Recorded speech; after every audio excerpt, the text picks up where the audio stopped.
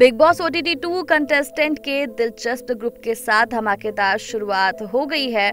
आखिरकार घर के अंदर का खेल भी शुरू हो गया। लोकप्रिय रियलिटी शो में घर में कई तीखी भैंसे और झगड़े देखने को मिल रहे हैं, जिसने दर्शकों का उत्सुकता को बढ़ा दिया। हाल ही में लोकप्रिय रियलिटी शो के तीन कंटेस्टेंट को जेल हुई, जिसमें बेबिका ध्रुव आकांक्षा पुरी और आलिया सिद्दीकी शामिल है। इस बीच बिग बॉस एक दिलचस्प कार्य लेकर आए, जिसमें बेबिका को घर के कुछ कंटेस्टेंट का ईमानदारी से चेहरा पढ़ने के लिए कहा गया। हालाँकि इसमें घर के बड़े पैमाने पर बवाल मच गया, क्योंकि इसके कारण बेबिका और फुकरा इंसान के बीच एक बदसूरत लड़ाई हो गई। फेस रीडिंग करते हुए बेबिका ने कहा, वफादारी एक जगह ठहरती नहीं है तेरी, आधे से ज़्यादा टाइम मुँह से झूठ निकलता है, सच्चाई हैंडल नहीं होती। उन्होंने उनसे ये भी पूछा, कितने चेहरे हैं तेरे? जहाँ अभिषेक ने जवाब देते हुए कहा 121 वही बेबिका ने प्रतिक्रिया देते हुए कहा, उतनी तेरी हर, हकीकत नहीं है।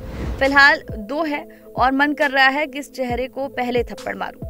हालाँकि बेबिका ने उन्हें दिल का राजा कहा, लेकिन उन्होंने उनसे कहा, कंटेंट चुराना बंद कर, क्रिएटिविटी से आगे तक जाएगा।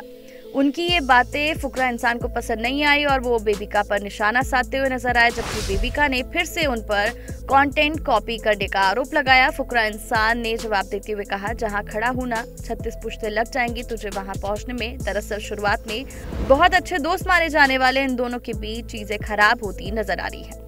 आप इस लड़ाई के बारे में क्या सोचते हैं, नीचे कमेंट सेक्शन में ज़रूर बताइएगा। वीडियो अच्छा लगा हो तो लाइक और शेयर ज़रूर करें। Bigg Boss O D two season two की हर खबर से अपडेट रहने के लिए अभी हमारे चैनल को सब्सक्राइब कर लीजिए। वीडियो पसंद आया हो तो वीडियो को लाइक और शेयर करना बिल्कुल भी ना भूलें।